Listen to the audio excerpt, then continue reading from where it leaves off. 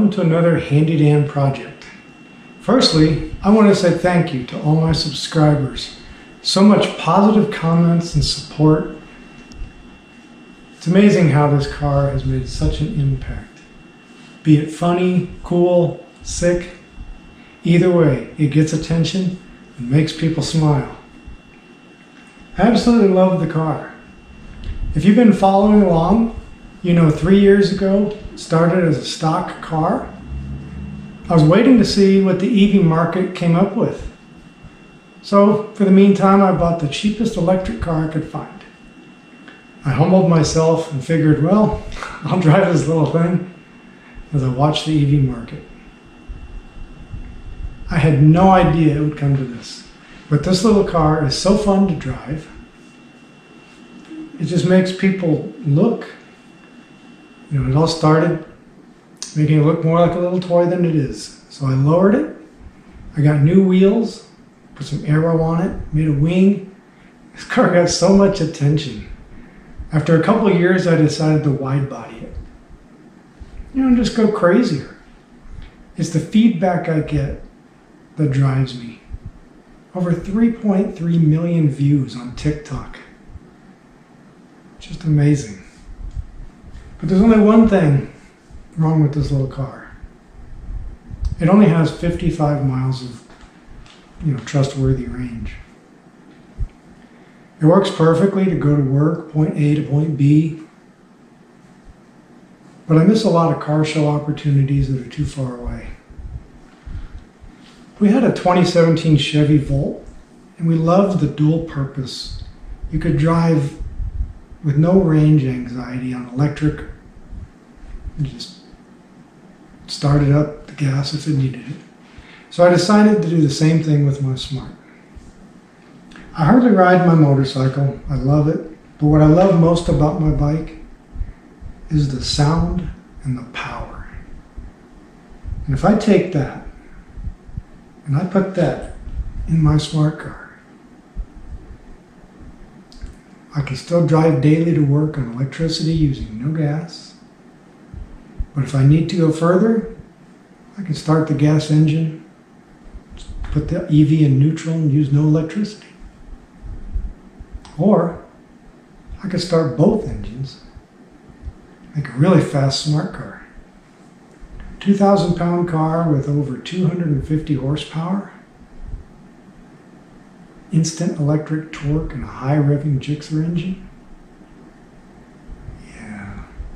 So follow along as I take two perfectly good vehicles and make them into one. Possibly big mistake. Lots of little modifications need to be done on the chain drive. I got to take the water pump out and get an electric water pump because my chain is going to have to come through this direction because the sprocket's got to be close down here. I got a quick shifter coming for here. So I'll be able to just slam shifts at full throttle. We're going to take the dashboard, put this whole dash cluster right on top of the smart car dash.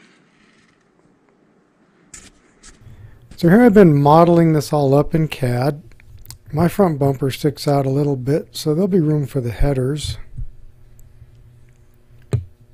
From front view, got the axle shafts kind of mocked in place. And from top view, you see how it fits. Um, looks like it'll fit. Need some modifications, I'm sure.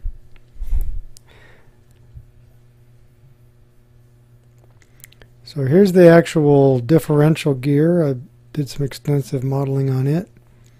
This is a mock-up uh, with another motorcycle engine. I couldn't find a CAD model of mine. So you see some little interferences here, but this isn't really my engine.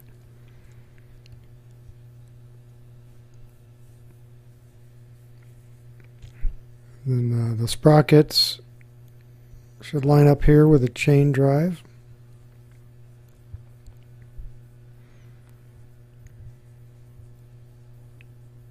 CV axle will run down underneath the motor. There's the firewall to the car and the side frame. And there's again some interference, but until I actually get the motor in position, I don't know what I'll need to cut away. If I go ahead and hide the motor,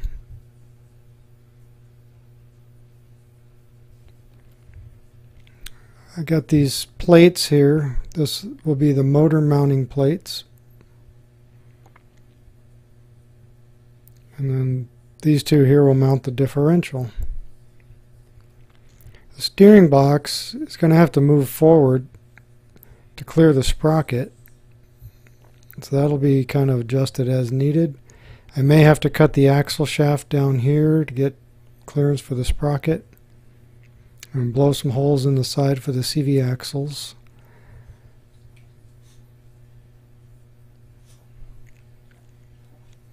But on the differential, we do a cutaway.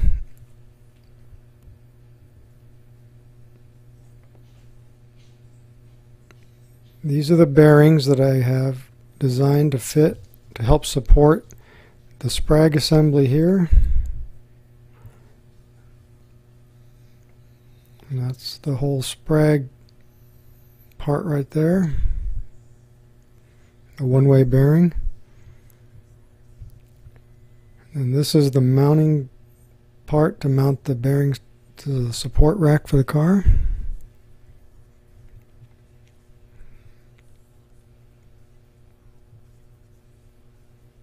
And on the other side here, it'll just be a bearing with the factory seal and another plate mount.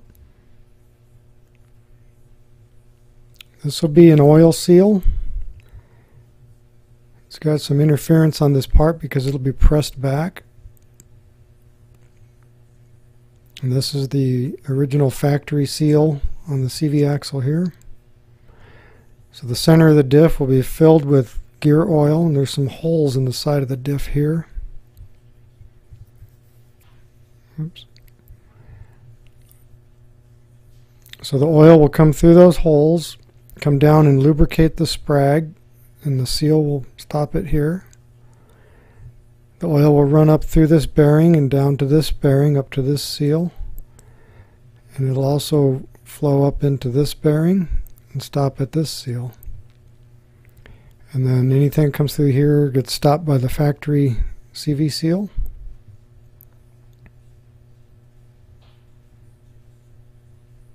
So now I got all those parts to order.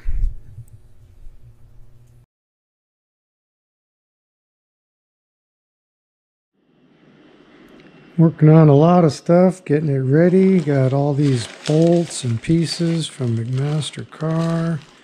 Pieces of plastic, more hardware. So I've got this one-way sprag bearing here. And this is going to be the make or break of the whole deal.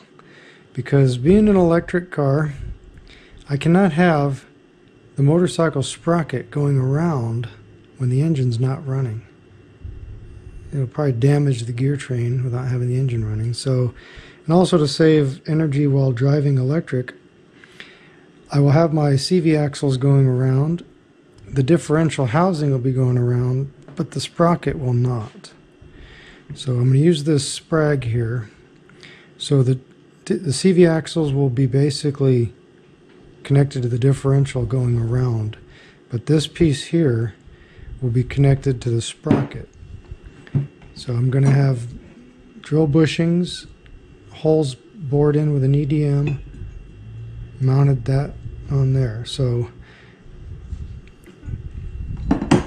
pretty much the, the differential can go around without the sprocket, but when the sprocket goes around, it will pull the car. So that's how that's going to go. We'll put the differential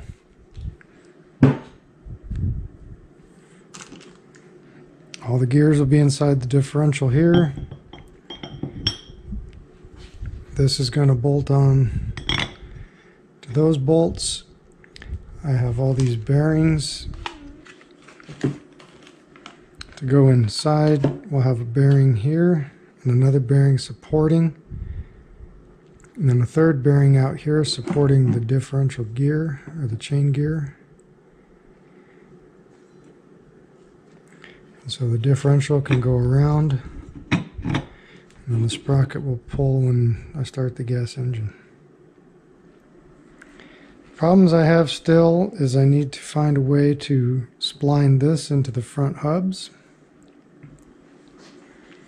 So over here, I've got this front hub. I started the drill out.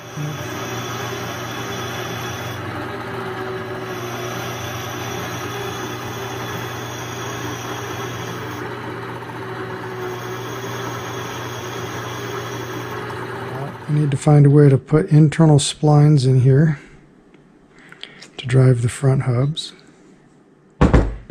Also, I'll have to clearance some of the lower knuckle. I got my lathe here, bigger chuck so I can turn some of these pieces. Another thought I had on the front hubs, these are one-way bearings.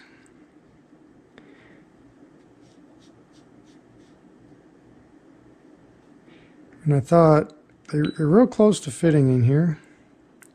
I could machine this out nice and square and mill a key slot. And then they're also very close to fitting on the CV axle.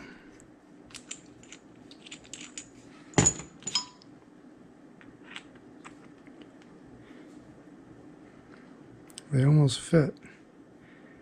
I would just have to turn this down just a little bit and mill in a key slot. But I don't think these bearings are strong enough to turn the wheels. But if they were, that would be totally ideal. Because then the car could be going down the road. Tires are going around, but the CV axles, the whole differential chain is just motionless be much more efficient. But then when the CV axle goes, it would turn the tire. We don't have to worry about reverse because on this electric car, I already have reverse. Food for thought. And then uh, also working on a way to control the gas throttle. So I'm going to have, this is an, an extra pedal out of the car. I'm going to drill a hole here because this is the Hall effect sensor for the electric car. But through the center here on the back side, I'm going to mount a potentiometer. This travels roughly 45 degrees of travel. So I've got this power supply running down to these servo controllers. And if this mimics the, the throttle position, I have a few different resistors, potentiometers here. When I hold this here, so now we have, this will be, that'll be idle on the motor. This will be the gas pedal with the 45 degrees of travel. We'll just give the servo a little bit and then this knob will give it more throttle. So I'll have fine throttle and full throttle. And this knob will be mounted on top of this shift. So you'll kind of twist a knob. You'll pull the shift and give it more gas. Got a lot of projects. Hope you follow along. Thank you.